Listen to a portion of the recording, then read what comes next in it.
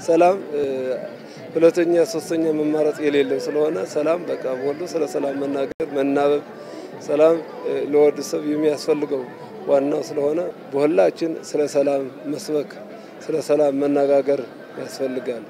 ስለ ሰላም ትርጉም፣ ስለ ሰላም ማንነት በደንብ ጠንቅቆ የሚያውቅ ህዝብ ነው የትግራይ ህዝብ።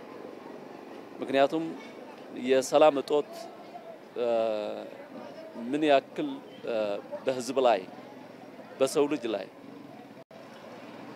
ብዙ ጉድለት ወይም መከራ እንደሚያመጣ ላለፉት ሁለት ዓመት አይተነዋል።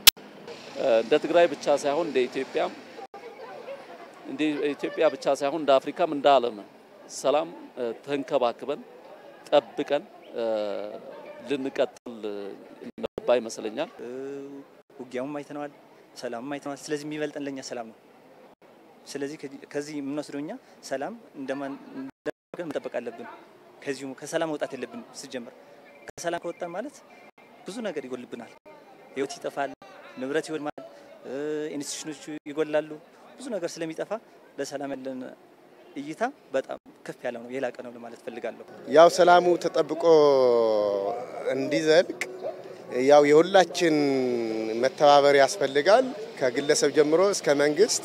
ትግራይ ሰላም የምትሆነው ጠቅላላ የኢትዮጵያ ብሔር ብሔረሰቦች በኢትዮጵያ ውስጥ አስተማማኝ ሰላም ሲረጋገጥ ብቻ ስለሚሆን መላው የኢትዮጵያ ሕዝብና የኢትዮጵያ መንግስት በሰላም ዙሪያ ጠንክሮ መስራት እንዳለበት ነው ማስተላለፍ እንፈልገው።